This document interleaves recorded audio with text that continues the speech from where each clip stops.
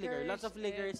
Ayaw nila. Tatlong flicker. Meron Wala, kay... wala man lang isang naka-purify, ah. Meron kay... ah, alam mo yun, kasi yung Purify, it's it doesn't really solve the problem. Eh. Nandun ka pa rin kayo sa vicinity. Mahuhulit, mahuhuli ka din eh. ka pa rin. Oo. So, ibig sabihin, meron si uh, Yuzhong na flicker dito.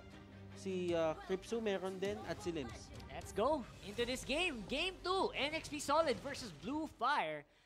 Mal close out na kaya ng NXP to? And I think it's a good possibility considering right now, they look like they have a pretty comfortable pick still. Pero I still kind of miss the YSS here. Pero let's see if H2 can make the Hayabusa work. Round 2. Two times the charm, close it out. Mhm. And uh, looking at it, eto ah, may malaking emphasis dito into getting the level 4 para sa mga supports. NXP Solid, kailangan nila ibigay agad kay Chang'o yung Meteor Shower nila because they know that they need that certain buff para dito. Ah, kaya they need that certain uh, skill pala para kay uh, Chang'o. But looking at it, tignan mo sila H2O dito kung anong ginawa nila. They went straight for that orange buff sa may side ng kalaban. Uy, Chester, grabe naman. Galit na galit. Laban agad. And Kripsu, very, very low. Lives in front as well. Looks like Blue Fire is now going to be the ones on the driver's seat with the first blood on H2O. And that is going to be the first blood. And titignan mo dito, the thing na nangyari dito for the side of Blue Fire, they went straight for that purple buff and they go for another punish. Blue Fire dito getting two kills. Wow. And man, oh man, that is going to be big kills onto the side of NXP Solid. That was a delay on H2O. Yeah, ang laking bagay nung delay din as well as the buffs. I'm not sure if H2O still has any buffs in that one because na-clear out siya. So, it's gonna be a long early game here for NXP. Oh, MB getting the shorter end of the stick doon sa engagement na yon. And that is going to be another pick-off for the side of Blue Fire. Ito yung sinasabi natin. Merong glimmer of hope for the side of Blue Fire. May Kasi asim. nakukuha nila Oo. yung rotation nila sa early game. Hindi lang nila napapanghawakan yun against sa side ng NXP Solid. And I think dun lumalakas, dun, dun, ah, tawag dun, dun nagpapakitang gilas yung NXP. Yung after nitong early game nito, even though ma-behind kami, paano ba kami makabawi? Mhm. 'Di ba? So, abangan nyo yun mga kaibigan. And NXP looks like gusto nilang i- i-offset yung weaknesses ni Hayabusa by grouping up together sa mid lane. So, magte-trio muna kami, ikot muna kami. Hindi muna pwedeng solo-solo. Okay. So ako naniniwala nga ako, Rocker, kailangan mag-ingat ni Cripso dito eh. There were a lot of kills given kay H2O dahil nahuhuli niya si Cripso kanina. So feeling ko medyo kailangan, ano, kailangan maiwan dito or uh, mag-isip dito si Cripso kung paano niya ipapwesta yung sarili niya. Because earlier, talaga nahuhuli siya na siya lang yung mismong target ng shadow kill. And Cripso is going to be, I think this time around, a bit safer kasi Fuzaken's gonna be, sa, nakita niyo nangyari kanina eh, di ba? Mhm. So Fuzaken's going to be more alert and blocking out para kay Cripso and yung Valier talaga, it makes, it's very difficult to deal with. Mhm. Like kita mo naman, even NXP, nagkakagamit lang ng Valier. They're having a hard time dealing with Cripso although right now, hindi sila nag-amaasim masyado. Mm, that is actually a good observation from Rockhart. Still, there is this thing about Blue Fire na ito din yung ginawa nila oh. they still go for it and the retributions are thrown out. The question is, kay Yawi yung kay, kay Yawi actually napunta yung buff. Oh. Kay Yawi napunta yung buff. So ibig sabihin, uh, pinersa nila si H2O, They still gumamit got ng retribution. Oh. They got something out of it, but still, kay Yawi napunta eh. You would actually prefer na mapunta yon kay H2O. Pero a kill onto the top lane dito kay MB. And another kill onto the middle lane doon sa may side brush netong mid lane na to. They actually get two kills at that point. At different points of the map. Limbs dito nagiging aggressive na. I think Blue Fire is being confident sa lahat na ginagawa nila. sa ngayon, di ba? I think alam nilang kaya naman natin mag-survive and wala masyadong threat kay H2O kasi right now, he's only level 6 with Creep Chu already at level 8. Creep Chew Creep Chu. Creep Chew. Ah, well, Creep that could be actually uh, combination. Pero mapipilitan si Yawi dito gamitin yung flicker. And uh, that is still going to be a thing na kailangan bantayan. And there is going to be a pause. Saan kaya nanggagaling yung apoy ng Blue Fire na ganito? No? Kasi I Sa Balir. like- Sa Balir. Mm. talaga, no? Tsaka kay Limbs. Oo naman. Yung yung so yung side lane ni Limbs is actually surprising na he's winning on that lane considering katapat niya is medyo solid din na side laner. Mm, what you really have to look out for kasi dito kay Alice is yung flowing blood. After the flowing blood, I don't really think that he can out-damage etong isang uh, Thams. Kasi yung Oo. Thams, innately, kaya niya din mag-regen para sa sarili niya eh. So, Nahihirapan looking at din it, siya, no? looking at it, dapat nananalo talaga dito si Limbs. And this is good for Limbs kasi kahit papano, week 1 to week 4, hindi niya makuha yung confidence niya, hindi niya mapakita yung lakas niya talaga dito. But right now, at least is given, uh, alam mo yun, breathing room, kumbaga, para makapag, uh, makapag-set up kahit papano. Pero kasi, ang kailangan bantayan dito for NXP Solid is nag-scale kasi sila. Yun yun.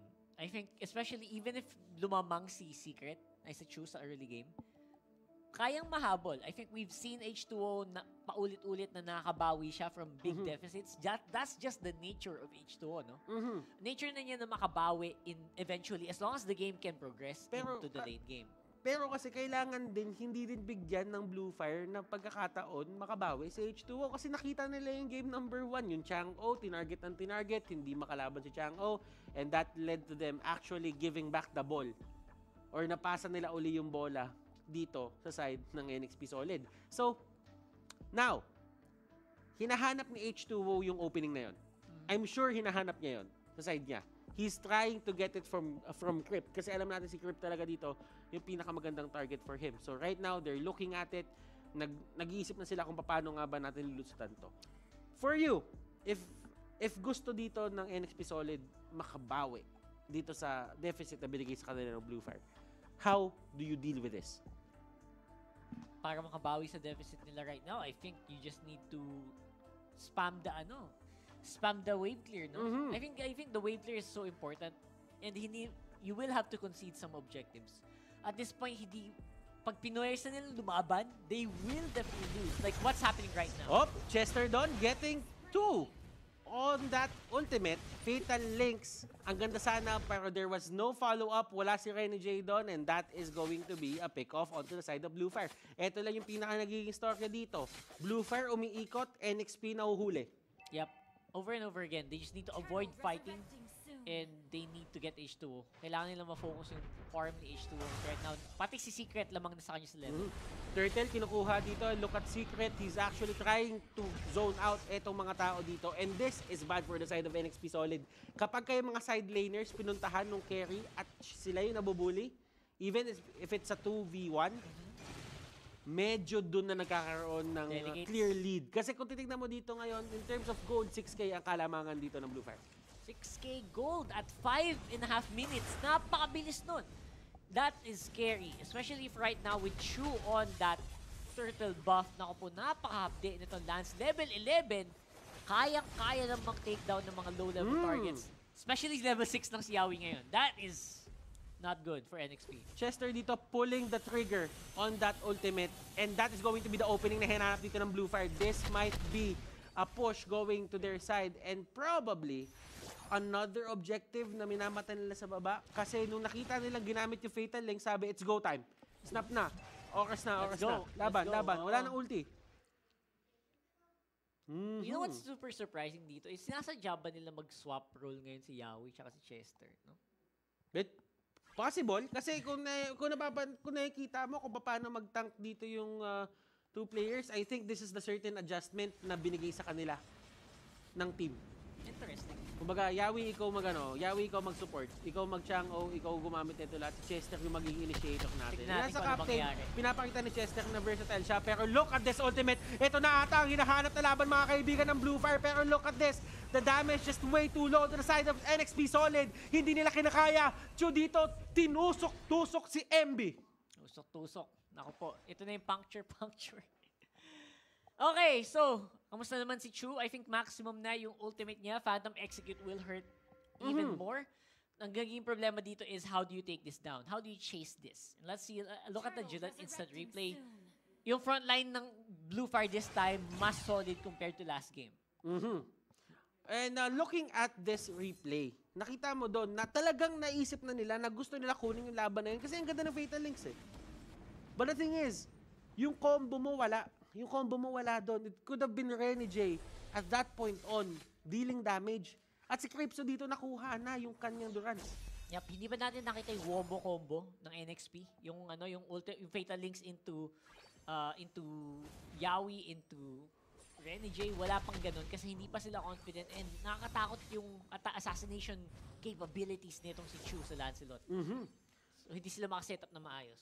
So now, yung mapa nandito sa side ng ah, nasa side ng Blue Fire. NXP solid dito, they're trying to regain it back pero kasi talagang nakasetup na dito yung Blue Fire na sila na ang magmamando netong laro. Chester, nahuli siya sa isang masamang lugar and that is going to be an overextend. But look at this, H2O, hindi niya alam kung saan siya magde-def. Ang daming nangyayari sa mapa dito. Looking at it, Renny J, hindi pa siya nakakasali sa isang laban dito. Hindi pa talaga kasi hindi din siya makas- makapasok ng solid. I don't think kompleto pa yung winter truncheon niya. And even if mag-winter truncheon ka sa gitna ng kalaban mo, what if you're not doing enough damage? Mhm. Hindi ka din makasurvive. Yun siguro iniisip niya kaya hindi siya makapasok talaga.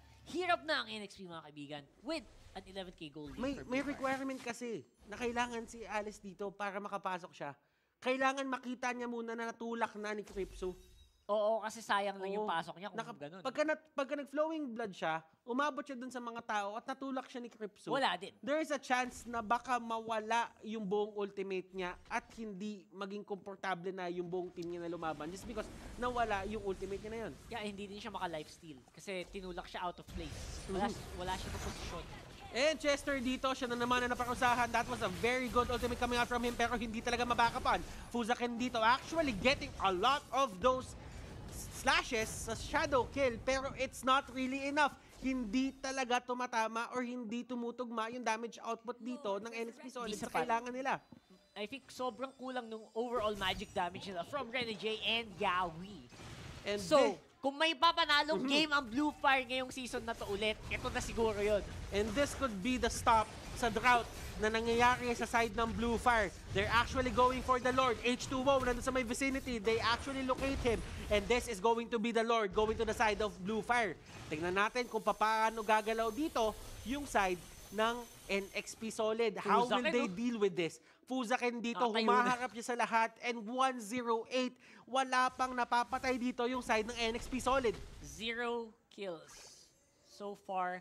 At 10 minutes, 13,000 na ang lamang ng Blue Fire. At naglalakad ng Lord sa top lane, mga kaibigan. Ito na ba yun? Will, ang tanong ah, Blue Fire ah, kaya ba nilang ma-close out to? Kasi yun din isa sa mga weakness ng Blue Fire nakit natin. Mula pa nung unang Mhm. This could go to a game number 3. Right now, tinitignan natin yung stats, Rockhart, tinitignan natin yung game, yung pacing. It's safe to say, it's probably safe to say na pwedeng pumunta to sa game number 3 kasi yung lead 15k. Yung towers 6 to 0. Yung Lord 0 to 1. Malaking bagay yun. Malaking bagay yun. Tignan natin ha. Here we go again for the Siege top lane. Lord, ito na ba ang laban na hinahanap ng Blue Fire? Mhm. Camera, let's go. Camera, let's go. Pero nandito, nandito si Chester sa may gitna. Natulak siya pabalik. They go in. Chester dito pinarusahan na naman. Chu on the back lines. Na-take down na nila dito yung Atlas and they don't want more. They go straight for the next turret dito sa may gitna. Is this the way na hinahanap nila? Rene J dito pumasok ng uh, Blood O. But still, that is not going to be enough. H2O will go down. Chu dito, going ham. Phantom execution. Tingnan natin mga kaibigan. Rene J dito. Pinipilit niya lang kontrolin yung side dito ng Blue Fire. But Rene J can't really do anything kasi hindi pa siya nag scale Not scaled enough. Minion, wa- minion wave And lang, this- minion wave, minion wave. Walang minions and they will be able to defend. At least for now, Yawi left alone. Chester, 2v5 mga kaibigan. This might be it, ladies and gentlemen. Walang minions dito. Nagagawa na NXP Solid na i-delay yung mga bagay-bagay dito for the side of Blue Fire. Pero they cannot go for another pick-up dito. If Ito they ba? do, magkakaroon sila ng problema. Yawi dito doing a great job pero hindi yata kakayanin. Blue Fire, Blue Fire! wins game number 2.